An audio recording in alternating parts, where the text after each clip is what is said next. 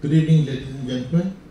I have taken the chairman's permission to mm, speak from here because I have a knee problem while my backbone is intact. so, and I'm not an expert of the subject, unlike the, the panelists here. Um, I was asked by Outlook to write an article uh, for a special issue which they brought out two months ago. I studied this subject and uh, wrote an article and my notes today are that's my article. I'm only speaking from there. Uh, there are two, three things which I would like to say that most of this debate on which every child uh, in the country seems to be an expert is, is based on ignorance. They don't know, they know uniform civil code, but what for? And if you press them, the only answer they have is four wives. Muslims have four wives, but in other words, if we, if the law says that everyone will have four wives, then they will all be happy. So it is. Uh, secondly, they just think it is polygamy. Beyond that, what is the, the civil code personal law about? They have no idea. In fact, I have tested it myself, and I would expect anybody from the media. So every now and then, you know, people, uh, media does this kind of story. I saw on Cyrus Broacha interviewing people in Bombay streets on uh, the 26th of January. Why is it important? 15, 20 people, not one had a correct answer. Who is the President of India? Who is the Prime Minister? Nehru. Then Indira. You know, that kind of answers are coming from everybody. This is one of the such subjects. If you ask people, they won't be able to answer. Second important thing is that we are debating, the national debate is going on on a non-existing issue. What are we debating? Where is the uh, shape of the common civil code? Uniform civil code, what will it look like? What is its content? Nobody knows. Just the need of it. So there are a few things. Why this demand is being raised and why? Polygamy is the key. And you refer to it, sir, also. And I have, uh, in my population myth, uh, I have uh, mentioned that polygamy actually is a myth. Uh, Islam, there is only one verse in the Quran which refers to polygamy. But it, all it says you can marry two, three, or four. The moment I hear this, I uh, go uh, looking for my second, third, and fourth wife. But the complete verse of the Quran is provided you, you can marry, provided you can uh, treat them equally, which is a very difficult thing to do. This is the Quran. the Quran itself is saying which is a difficult thing to do. So now many ulama, many Maulvis, they accept that polygamy is a permission, not an injunction, a permission with a condition. But I'm very shocked to know when I studied the, for my book that there is another condition I have not heard any cleric talk about. This verse of the Quran is in the context of the orphans and the widows. Quran is saying, Allah is saying, treat the orphans and widows equally uh, uh, equitably, you be just to them, be fair to them, do not misappropriate their property, do not uh, replace their good thing with your bad things, and uh, ideally, you should marry uh, two, three, or four from among them. From among them is the language. That means the first condition is marrying a widow. But if I pick up Hindustan Times, then everyone wants a virgin. Nobody wants to marry a widow. And why widow? The emphasis was in the tribal days, there used to be so much of tribal warfare. The men used to get killed. There were so many women and orphans and children. So basically, it was a rehabilitation measure for them. But no Muslim cleric has talked about it. To me, that is a basic condition because that is the context of the ayat. They're from among them, marry two, three, or four, but treat them equally. Now, what does this mean? Treat them equally. I bring out of sympathy, I bring a woman as my second wife, send her to the kitchen to wash utensils. That's not the intention of this ayat of the Quran. The other one, the first wife is the queen and the, this one is a, is a maid. That is not what is intended, very clear from the Quran. And ever since I've written this book two years ago, no uh, Maulvi Mullah uh, has contradicted me on this. So, uh, which means they see some uh, logic in uh, what I've said. Just give me a moment. I'll this keeps disappearing, and I'll bring display uh, auto lock two minutes now auto lock never okay. Yes. Yeah. So now what did i find in the, when i was writing the book?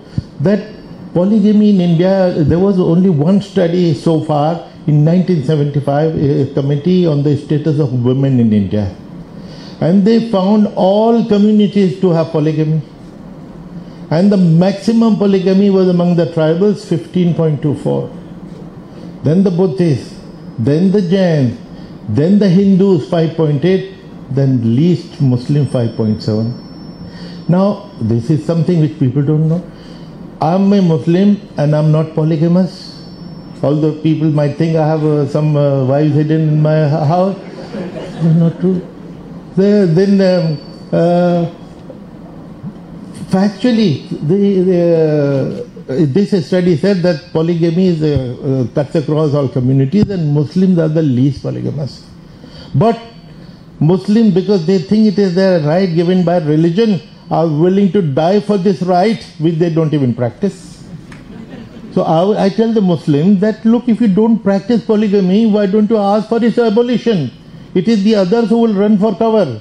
It is the tribals who will say that look, at their right is being taken away, the Buddhist Jains, everybody who is practicing it more. Now, some people have criticized, oh, you are talking of 1975 study. It's not my fault that that is the only study which has been done in the country. And in any case, as a researcher, so I said, okay, whether it's a freak study, I went back three censuses, in 1931, 41, 21, 31, 41 to see and exactly the same trend was found, more or less the same figures, but declining in all uh, across the, the thing, but the, that was the proportion. So the myth of polygamy. But recently, the, you may have heard that uh, some of us went to meet Mr. Bhagwat. I gave him this book. And uh, then I uh, told him some of the basic things, and one said, I said that polygamy in India is not possible. He said, How? I said, have you, you must have heard of the concept of uh, gender ratio. What is the gender ratio for, how, for 1,000 men? How many women are there? Do you know what is the gender ratio of the country? How many of you know that? You all know about Uniform Civil Code debate? You don't know the gender ratio? 940, which is the highest in the last 120 years. It was uh, 9, uh, uh, 20, 21, something, something. It has always been. Now, which means 60 people out of 1000 are forced to remain bachelors. Now, if 60 people will not find a, their first wife, how will I get my second? It's not possible. Of course, Mr. Bhagwat had a hearty laugh, which means he registered my point. So, therefore, this the debate about polygamy, on which the, the half, most of the debate on uh, uniform civil code is based, is totally baseless and we need to go beyond it. Now, the concern uh, which uh, people talk about about the Muslim, poor Muslim women, you know, triple talaq, inki kar dete hain, ye kar dete, dete. Now, when we you hear uh, leaders of the same party, Mr. Deepak, uh, for, for you particularly, when they talk from the street, the YouTube is full of such videos one uh, speech was in the presence of a very important leader. He dig out the, the graves and hundred uh, Muslim women and rape them, the dead bodies of the, the women. Now, here you are every day lynching, making uh, the uh, women uh, widows, and you are talking about their rights and you are crying, you know, these are all crocodile tears then. Do you really mean the welfare of Muslim women? This needs to be considered. Triple talaq Triple talaq was the most despicable thing, not allowed by Islam. In fact, before the Supreme Court came in, I tweeted, I am on Twitter, some of you may, may know, I tweeted to Muslim Personal Law Board, which was meeting somewhere in Jaipur or somewhere. I said, look, this is the most despicable thing. Please declare it is illegal and un-Islamic. And if you don't, Supreme Court will and then you will cry. they miss the opportunity. They did not declare it illegal. They said that this is uh, legal, although not desirable, which is not the same thing. Quran Sharif has only one verse in the Quran uh, in, uh, about the divorce, and it says that talaq has to be three times over scattered over three menstrual cycles, because it expects reconciliation. If I divorce my wife today, but she will still live in my house according to the Quran, so that the next day, uh, once my uh, uh, hangover is over, because most of the divorces take place at night when the, the guy has uh, boozed up. Uh, so next day, if he cohabits, the talaq goes. The nikah gets restored. So reconciliation, restoration is the purpose, and you can do it second time, and you can do it third time. And the spirit is that don't make it a habit. Up to three times is fine, but if you have done the third time, the talaq becomes absolute. This is the spirit of triple talaq. So, but illiterate people, in one go, I give you three three talaqs. I give you three talaqs. Make it. Uh, no, this is totally against the Quran, against Islam. This should have been banned by Muslims themselves, personal law board. They missed the opportunity, and uh, for which, and I've written about it. It's all on record. not saying it for effect. And what I am saying is was published two months ago, so there, there is nothing new. Then uh, uh, the bigamy, yeah, the, the Supreme Court itself in one case mentioned clandestine bigamy among Hindus. Clandestine. Uh, we do it openly, others do it uh, clandestinely. Among the Hindus is worse than open polygamy among Muslims who are legally bound to treat them equally in maintenance and love. So this is the Supreme Court of India. Now in the Velusamy case 2010, the Supreme Court denied maintenance to a second Hindu wife by holding her as mistress and keep. I want to make her my wife, you would like to keep her as a mistress. Now which is better? Supreme Court. Then uh, uh, Secondly, you know, as I said that it is only polygamy, divorce, triple marriage, uh, they think it's uh, uniform civil code is all about that. There are so many issues. Maintenance, divorce, adoption, inheritance, guardianship, as uh, mentioned. Nobody actually knows that uh, these are uh, all part of it. Secondly, personal law. I do nikah, you do pheras. How does it affect uh, either of us? I'll get buried, you'll get cremated. These are the personal laws. How does it affect anybody? How is it uh, dividing the country? It's ridiculous. So, uh, uh, there some of the things which were mentioned by Justice Kannan, many people, uh, mean, I did not know half of them. They are happening somewhere or the other. If a uncle uh, niece marriage is taking place, how is it dividing the country? How is it affecting anyone in this hall? Uh, it might be the obnoxious practice, but so be it. So now nation unity is the other issue mentioned. I would like to remind you, you know, everybody says that it is a directive principle of state policy.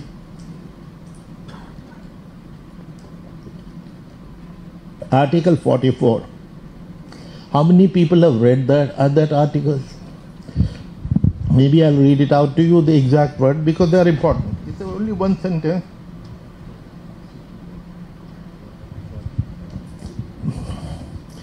Uh, it says the state shall endeavor, endeavor means try, endeavor to secure for the citizens a uniform civil code throughout the territory of India. It doesn't say across all communities, it says the territories of India. Now, this is a very important thing.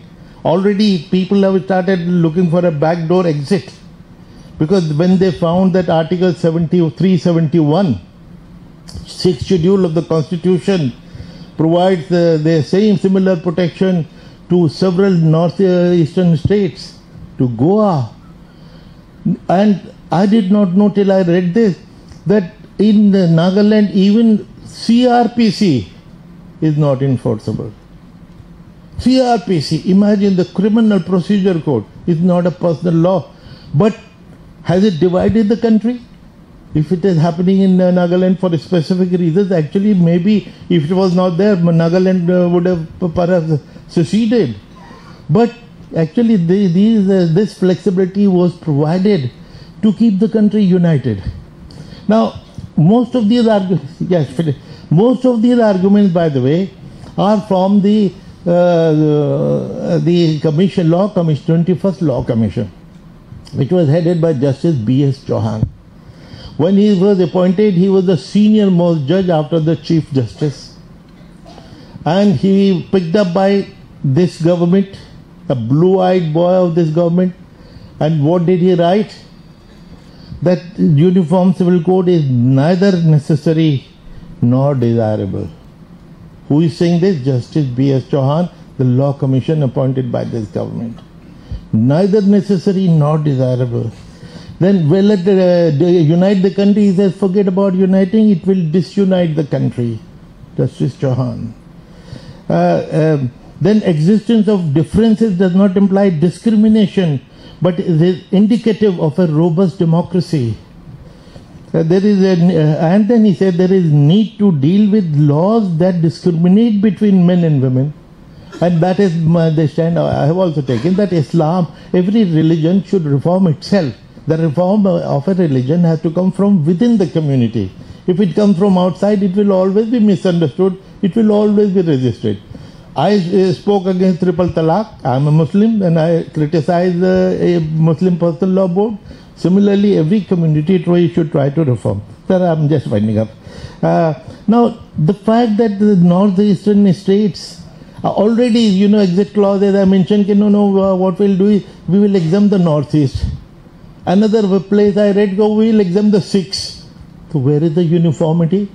What are you talking about? What is the intention? Just uh, politics? Uh, that's something to be worried about.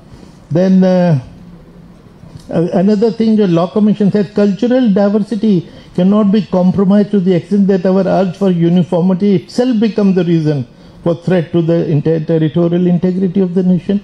So I would say, sir, that forget about everything else. The law commission, which examined 75,378 representations over two years, the largest ever deliberation, met various delegations Please read the commission report. Don't sweep it under the carpet. Please follow them. This is uh, not a Congress creation. This uh, commission report came only three years ago, four years ago. Just please follow that. Thank you very much. Uh, thank you very much.